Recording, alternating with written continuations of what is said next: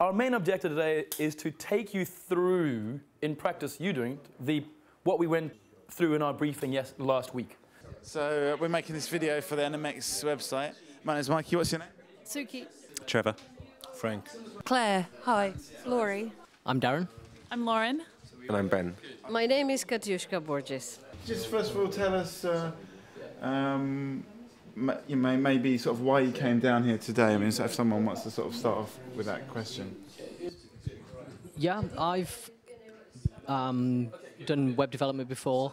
Um, done quite a lot of PHP. I've recently found Drupal and started using it, but found that I spend hours messing around with configuration screens trying to get it to do what I want. And so I've come down to basically try and get a bit of an understanding of how the system works. We're starting up a new venture, and we want to, um, Ben and I, and we want to use Drupal as a means of um, allowing remote working between people that we work with on different kinds of projects, um, and also allowing access to different types of information to different people. Um, I came here to uh, actually get some hands-on work done on a project which I'm going to do, which is uh, which I'm doing for an organisation that I coordinate, which is the London Cycling Campaign Group in Hackney. I'm part designer and part IT support uh, consultant, and quite a few of my clients are going to want some form of CMS uh, sometime in the future. I'm here because um, I'm very interested in using Drupal and learning to to how to do my own website and to be able to have a content management system that I can update anytime and be able to allow other people to to add to the site and contribute and create some kind of um, interesting interaction with users. Uh, inside publishing options is an option for promoted to front page.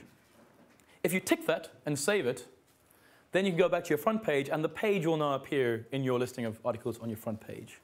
And what do you think Drupal can do for you?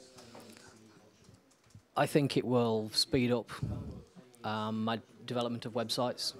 So I can basically build sites by plugging together all these pre-built modules without having to build it all myself. The two projects that just I'd like to sketch out from these workshops. Um, one's a photojournalist, wants to put up his stories with pictures. Um, so that'll be very simple. Another is a collective of filmmakers.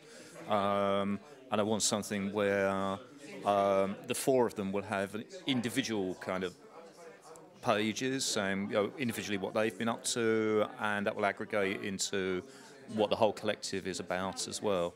In the module section, there's a, there's a group of modules you can enable.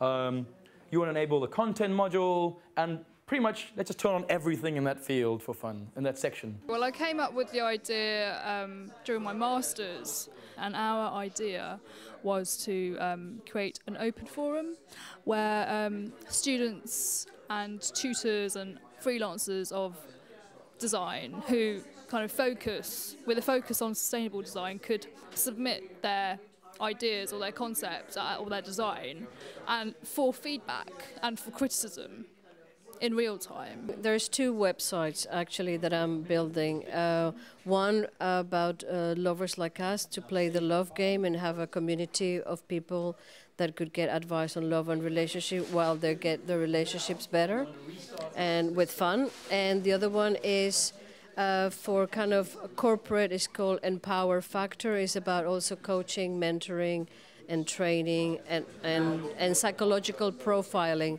like criminal minds, but corporate minds. Go to publishing options. Mm.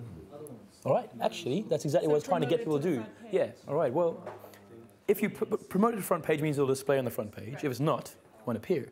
I want to see if that happens to everybody. If that's the case, actually, that's exactly what I was trying to show you how it worked.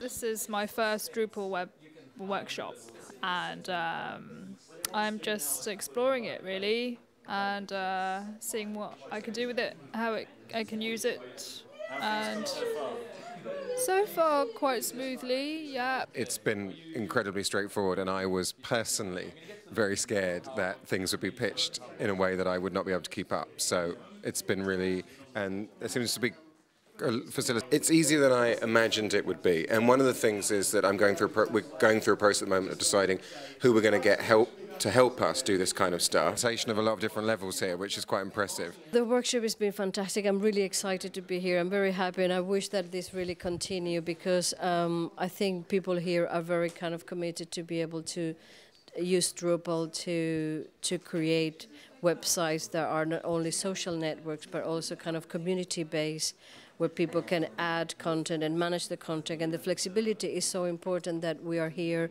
all creating and supporting one another. It's easier than I imagined it would be. And one of the things is that I'm going through pro- we're going through a process at the moment of deciding who we're going to get help to help us do this kind of stuff.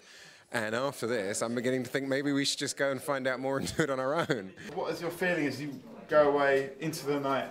I'm looking forward to next week, of course. It was really useful to have the uh, like experts there, and you could just call over at any time. So it was quite nice that it was reasonably loosely structured, and that you had two people there, you know, who who were on top of uh, the thing. So it wasn't just a teacher and a class type of thing. You know, it was, it was, good in that respect. We, we were able to, you know, get get exactly what we needed.